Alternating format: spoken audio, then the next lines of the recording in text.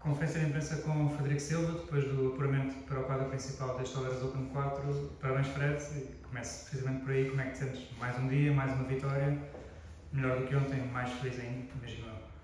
Sim, uh, bastante contente com, com mais uma vitória, com, com a passagem aqui ao quadro principal, que no início do qualifying era o principal objetivo, era o primeiro objetivo era chegar aqui ao quadro principal. Um, e estou contente também pelo jogo que fiz. Um, jogo que eu sabia que ia ser, ia ser complicado, ia ser um jogo exigente.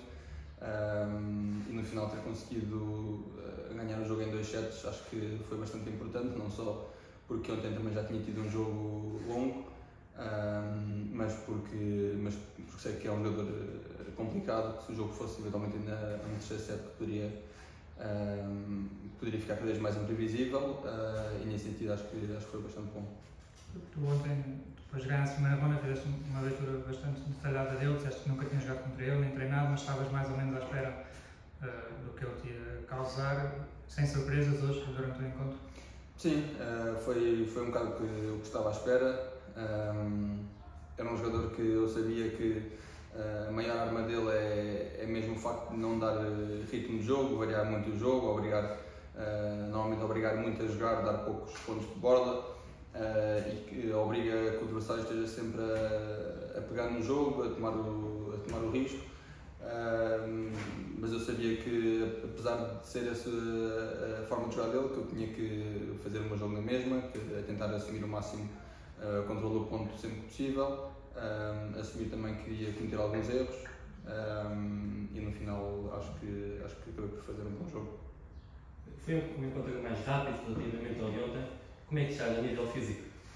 Estou bem, uh, estou bem. Obviamente hoje uh, de manhã um pouco mais cansado do que ontem de manhã antes do jogo, mas é normal depois de um jogo de, de 3 sets. Uh, mas neste momento estou bem e não tenho grandes dúvidas que vá recuperar bem e que amanhã uh, vai estar novamente a 100% para, para mais um jogo.